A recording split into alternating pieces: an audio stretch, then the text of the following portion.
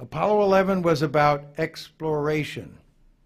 about taking risks for great rewards in science and engineering, about setting an ambitious goal before the world,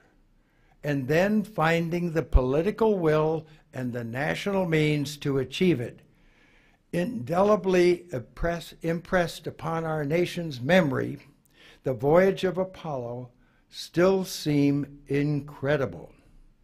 We are inspired by the magnitude and teaming efforts of people from all walks of life, from industries big and small, who worked in tandem